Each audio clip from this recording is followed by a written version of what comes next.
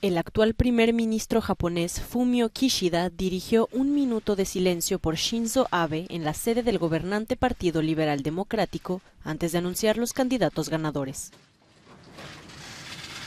Los sondeos a pie de urna para las elecciones a la Cámara Alta del Parlamento mostraban que el partido gobernante del ex primer ministro Abe obtendría una importante victoria, posiblemente impulsada por lo que se considera una ola de votos de simpatía, en un país que todavía está conmocionado por el tiroteo del viernes.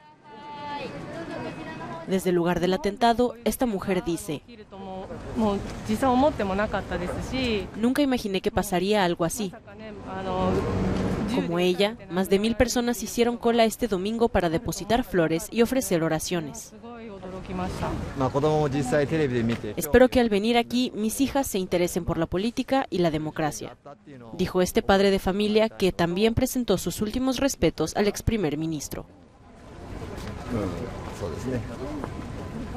Este domingo también la policía del oeste de Japón envió al presunto asesino Tetsuya Yamagami a una oficina de la Fiscalía local para continuar la investigación.